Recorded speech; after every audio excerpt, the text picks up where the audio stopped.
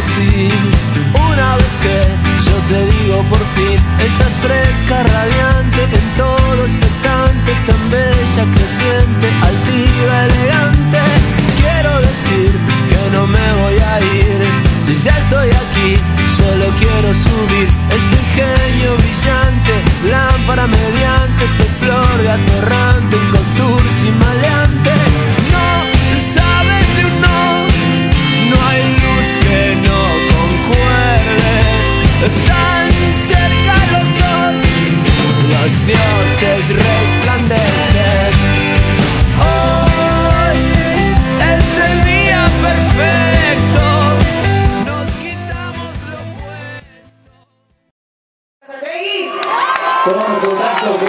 Ahí lo vemos al intendente Musi muy sonriente, al joven Musi, no el grande. El grande lo tenemos con las fábricas. Al Old Musi, este es el Young Musi. Vamos Musi, a ver, dale. Te escuchamos. Presidenta, muy rapidito yo desde acá. Muy rapidito yo desde acá. Primer dato, bueno, inauguramos 104. Primer dato, bueno, de las 740 viviendas que comenzó Néstor y que ahora eh, usted está terminando, pero no son las únicas viviendas que recibe Verazategui. Nosotros, desde que mi padre fue intendente en el año 88 hasta 2003, Verazategui del gobierno nacional recibió cero viviendas. Y de 2003 a la fecha, estas 740 viviendas, 383 están haciendo el otro lado de Verazategui, 53 viviendas en otra parte de Verazategui.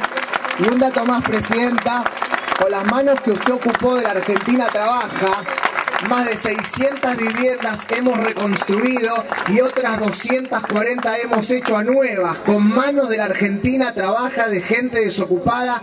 Casi 900 viviendas nuevas hemos hecho en diferentes puntos de Verazategui. Por eso le agradecemos aquí en este barrio federal. Además, en un mes y medio se está inaugurando el Jardín de Infantes, que nuestro gobernador también nos ha ayudado, obviamente, con el personal que va a trabajar allí. Y quiero comunicarle que por decisión del barrio, a pedido nuestro Consejo Deliberante, el día 27 de mayo pasado, este barrio, por ordenanza municipal en democracia del Consejo Deliberante, este barrio pasó a llamarse Barrio Néstor Carlos Kirchner el pasado 27 de mayo. Le paso con Jessica, que es una de las vecinas beneficiarias. Muchísimas gracias. Muchísimas gracias. Hola Jessica. Hola, Hola. Jessica, te escucho. Dale, ¿qué, qué te pusiste, Jessy? Ah. Y acá estoy muy emocionada. Pienso que todos debemos estar así. Esto es lo que soñé toda la vida. Eh, yo viví, vivo de prestado en la casa de mis padres y hoy estoy realizando mi mayor sueño. Se lo quiero agradecer profundamente. Me hubiese gustado tenerla al frente y poderle darle un beso. Porque gracias a usted hoy mis hijos tienen mi casa.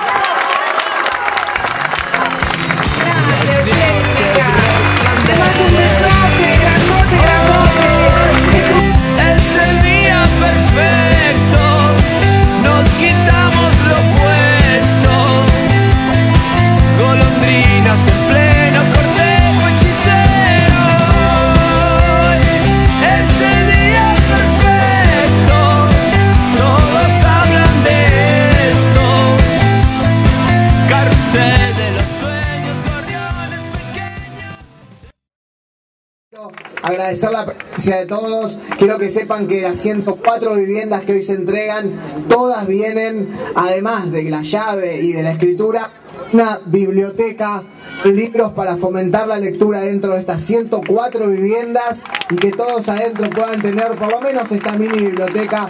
Gracias Federico, de parte de la Secretaría de Cultura de aquí del municipio.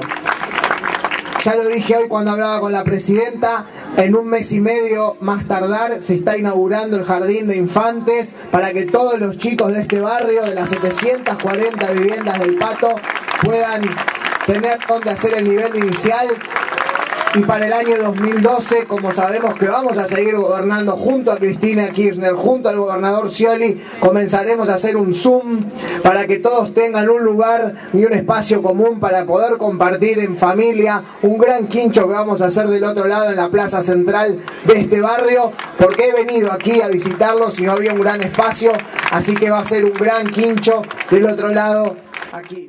La verdad que muy contento, soy aquí acompañando al intendente Juan Patricio Musi en esta nueva entrega en el Pato, la verdad una obra que la Nación está desarrollando en la provincia, en este querido Verazategui, que bueno, que ya lleva 404 viviendas entregadas con estas nuevas 100 viviendas y nos faltan 300 más, también creciendo el Jardín de Infantes como vimos hoy el avance de obras con el intendente. Y bueno, a seguir invirtiendo para que esta comunidad maravillosa pueda tener el mejor barrio, que, que es lo que sueña la presidenta, el gobernador y el intendente Musi para todos ellos. Igualmente, yo lo decía recién, uno no está satisfecho, uno sabe que hay muchísimas familias que todavía necesitan, por eso estamos trabajando una ley de hábitat social que permita generar lotes con servicio, que permita generar microcréditos para autoconstrucción y que permita también seguir generando barrios federales como este, que bueno, que nos ayuden a paliar una demanda muy grande, porque estamos en un municipio, una provincia que volvió a tener trabajo, y el que tiene trabajo puede pagar su cuota y puede anhelar y tener su casa propia. Así que hay que generar todos los mecanismos.